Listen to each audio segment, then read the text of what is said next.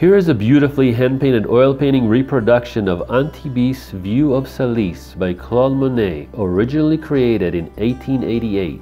Take a closer look and observe the way the artist has used the brushstrokes to create the same authentic texture and appearance of the original. Monet spent most of his career in rural France and was a master in the Impressionistic art movement. Monet himself described this view of the town of Antibes as being gilded by the sun. Here the piece is shown as a 24 by 36 with a beautiful bronze frame called the Renaissance bronze frame. We chose this frame because the rich colors enhance the autumn feeling of the painting, but we offer it with a variety of other frames and in different sizes ranging from 8 by 10 to 36 by 48.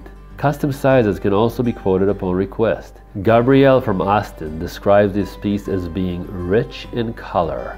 Bring the beauty of hand-painted art into your home and transform your space.